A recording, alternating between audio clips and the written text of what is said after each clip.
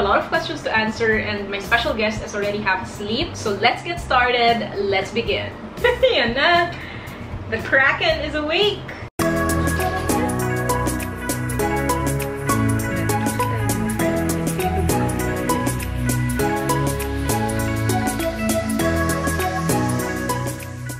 Such a good boy. Pancho sit.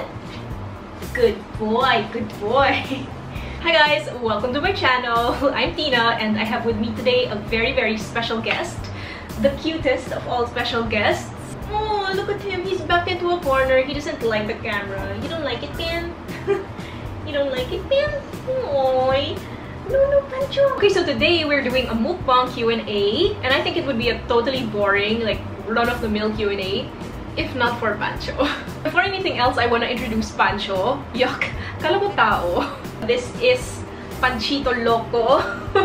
he is a one and a half year old French Bulldog. His color is sable. Sorry, you can't see him. He's not in the mood right now. He is super mischievous. Well, not right now. super gregarious, very sociable, and such a good-natured dog. So I asked you guys to ask me questions on my community tab on my YouTube page. And thankfully, I actually received a lot more questions than I expected. So maybe I'm gonna do a part 2 of this. We'll see. So anyway, let's jump right into the Q&A. I will basically just be refilling Pancho's plate whenever it's empty. I do have a lot of food prepared for him. For me naman, I just have one thing. It's Korean dumplings from a Korean store.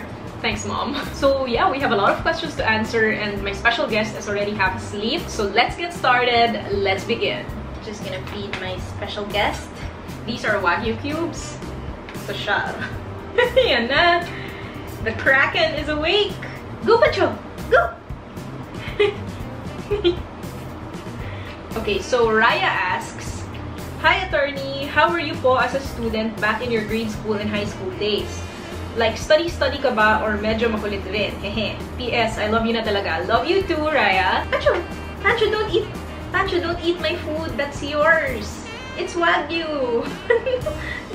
this one, this one. This is harder than I thought. As a student in grade school and high school, I would say that I was serious when it came to academics. I always wanted to do well sa studies. It was important to me to get good grades because I felt like, I don't know, I derived my self-worth sort of from that. Which is okay na rin kasi instead of, you know, deriving my self-worth from other things like the attention of boys, or going to parties, getting drunk. I derived it from getting good grades and indulging in my hobbies. So I was serious academically, but definitely I knew how to have fun. Tsaka ang dami kong hobbies. I loved art. I loved books. I loved literature. I loved Harry Potter. I loved collecting Harry Potter merchandise. Seryoso din ako sa hobbies ko. So even back then, it was important for me to be balanced because like they say, all work and no play makes Jack a dull boy. In terms of being makulit sa class, like, yung maingay, laging nagchichismis, ganyan. No, I, I was never one of those girls. I was behaved naman in class. So yeah, I would say seryoso ako sa studies, pero may topak ako when it came to other things. Tsaka di ako makulit when it came to other people. I was always an introvert, and I still am, I think. Next, Reese Mercadejas asks, What are the pros and cons of being a lawyer? Is UP Law School really hard? Recommended law schools other than UP and Ateneo Law School. Thank you in advance, Authority. So I'm planning to do a separate video on the topic of pros and cons of being a lawyer. So we won't go too in-depth right now. But I think a few of the pros of being a lawyer are that number one, you definitely have a voice in society. Like when you speak, people listen to you. Because of that, it really puts you in a position to be able to effect change, to be able to help non-lawyers formulate their own opinions about current events, current issues. So it's important that you use that voice for good. Another pro of being a lawyer is that people are afraid to bully you. When you're a lawyer, people know that you're not a pushover. And they know that if they give you bullcrap, that you can see right through that bullcrap. I have a pancake for Pancho, he loves these. Go Pancho! Another pro of being a lawyer is that you can be sure that you're always gonna have a job. People need lawyers. Ever since the beginning of time, people have needed lawyers to defend their rights. That's not gonna change. So especially in uncertain times like these with COVID and everything, you can be sure that as a lawyer, you're never gonna be out of a job. Also, being a lawyer automatically commands people's respect, I think. And that respect is well earned because girls and boys it ain't easy going through law school, going through the bar exam. Mataas yung tingin ng tao sa'yo. The cons of being a lawyer, well, it's definitely, definitely stressful, you guys. Iba yung stress of being a lawyer because by its very nature, you take home the problems of people. You actually take other people's problems and make them your own. You attend to them while you're at work, you attend to them while you're taking a shower in the morning, thinking about what you have to do for the day. So in and of itself, it's very mentally and psychologically demanding, exhausting, stressful, but it comes with the territory. I mean, the stress of law school is only an indicator of how stressful legal profession is actually going to be later on. Recommended schools other than UP and Ateneo Law. Definitely San Beda Law, whether Mendiola or Alabang, UST, University of Santo Tomas, DLSU or La Salle Law, FEU Law, Arellano. You know, before when people would ask what the best law schools are, traditionally the answer used to be UP and Ateneo and BEDA. But from recent years, we've really seen the proliferation of law schools other than those three in the list of top performing schools in the bar exam. So I would say that those schools that I mentioned are the biggest schools, but I wouldn't say that they're the best. Because best is, it's so subjective. It's so subjective a term. Anyone can be the best. The next question is from I'm Shook. can you work as a lawyer abroad when you studied law and passed the bar in the Philippines? Love you, attorney. Love you too. Yes, if you've studied and passed the bar here, then you can work abroad as a lawyer, but that is subject to compliance with any other requirements that they might have. Like for example, if you want to work in New York, you have to pass the New York bar. You have to study for it and pass that bar. And a lot of other states in the US have that policy, as in you'll have to study for their local bar and pass that local bar if you want to practice there. The requirements really vary from state to state and from country to country.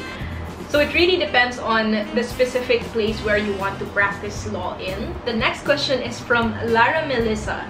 How's the environment in UP Law? Are students competitive, friendly, bully, or both? Well, definitely students in UP Law are not bullies. Everyone's friendly, everyone's nice. Sure, there are cliques. I mean, I think it's normal that there are, you know, little factions or little groups within groups. Different sections tend to stick together, but people are definitely nice.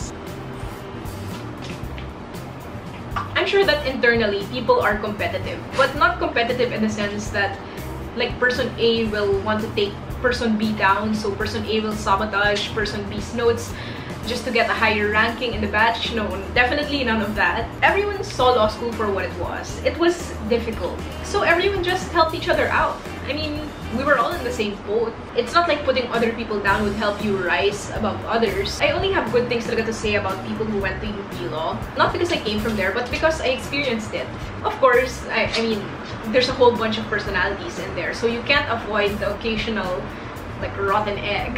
but it was a really good, non-hostile, I wouldn't say happy because law school isn't a happy environment to begin with, but it was as happy an environment as you could get in law school. Miss G asks, Kika related, top 5 essential contents of your everyday bag. Wow, thanks for the first non-law related question. First is definitely my power bank. Need that at all times. Second is my Human Heart Nature lip balm in the shade Rosewood. I've mentioned this so many times before. It's in my everyday makeup routine video. Next is my wallet. I'm sure that's everyone's essential as well. And I also mentioned it in my what's in my bag video. Fourth are my eyeglasses because I do wear them. Although I try to wear contacts at work. But when my eyes get fatigued, I always have to have my glasses.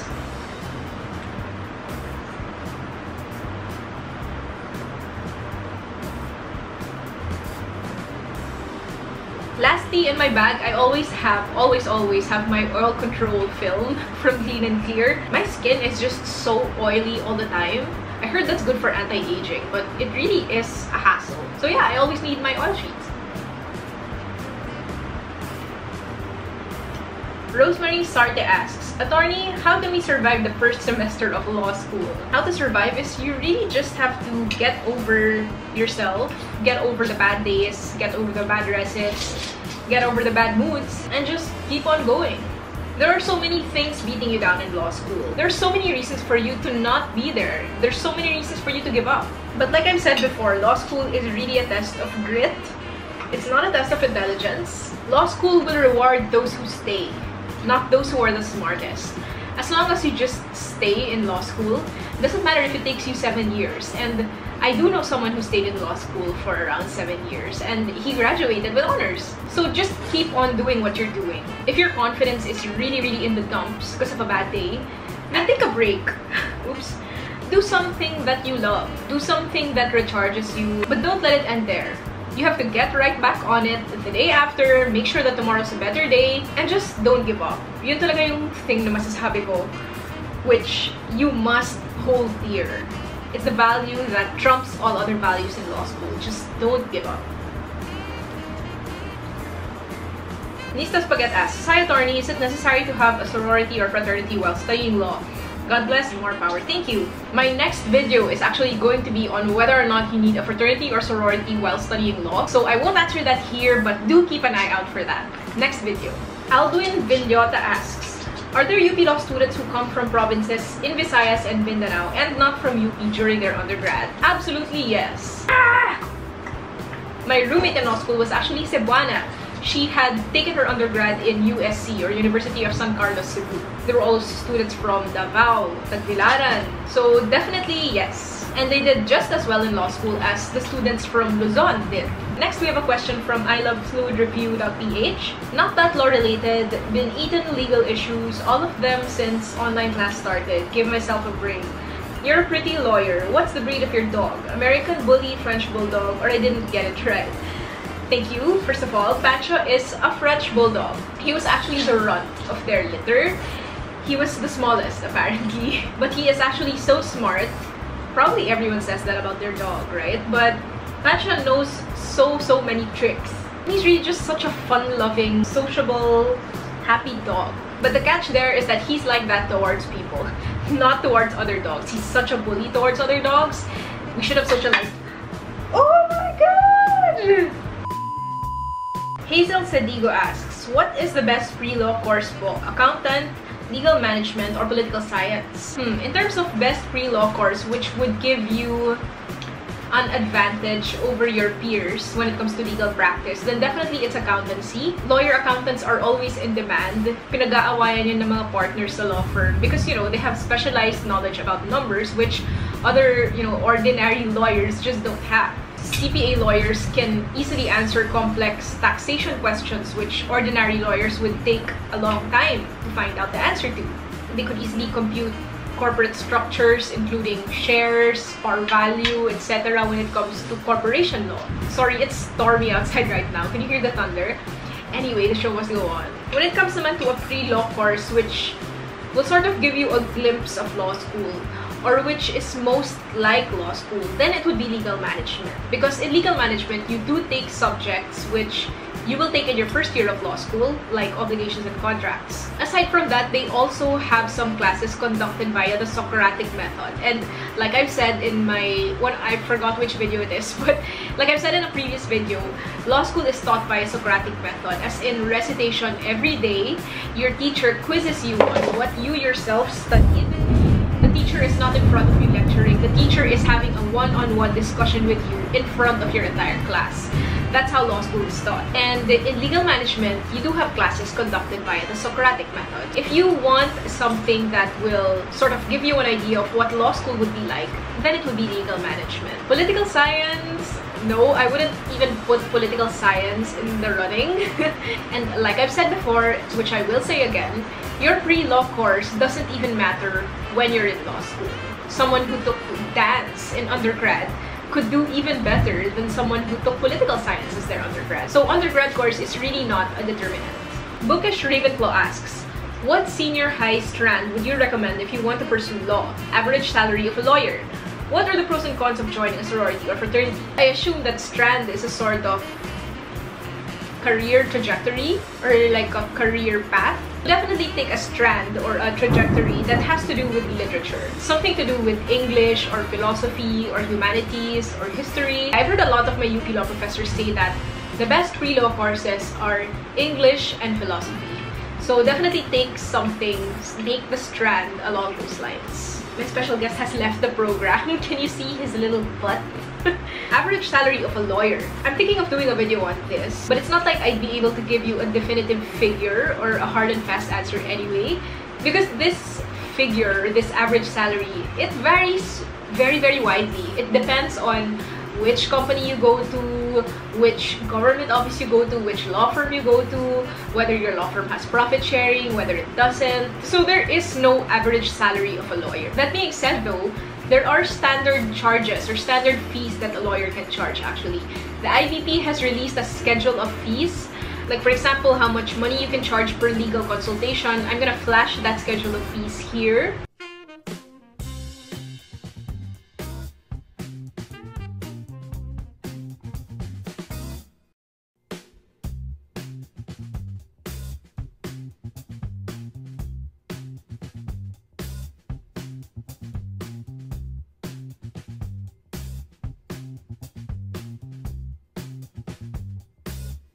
even when you're a senior partner in a law firm, you don't have a base salary. Yung parang guaranteed amount that you're going to get per month. You earn based on profit sharing and based on the clients that you bring into the firm. So average salary, it's it's not a thing. It really just depends on what industry you go to, what company or what law firm or what government office, and how hard you work. Marianne says, Hi Attorney I always look forward to your content. I'd like to ask if there are scholarships available in law school, specifically in UP Law. Girl, the storm doesn't want me to finish my video. Yes, UP Law does have a scholarship program. It can be applied for online. Just go to the UP Law website. Best of luck to you, Marianne.